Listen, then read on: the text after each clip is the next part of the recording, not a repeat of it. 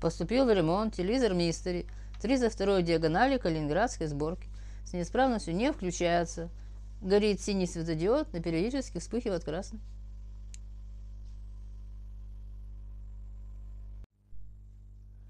Открываю телевизор, подсветка периодически вспыхивает.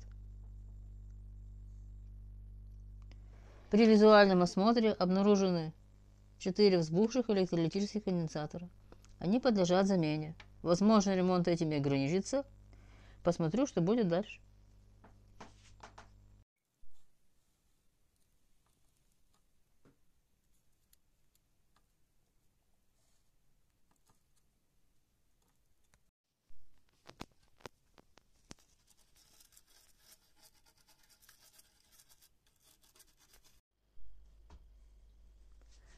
Поменяла конденсаторы, установила плату в телевизор, включила. Телевизор заработал в штатном режиме. Хочу добавить, что качество калининградских телевизоров оставляет желать лучшего. Ремонт закончен.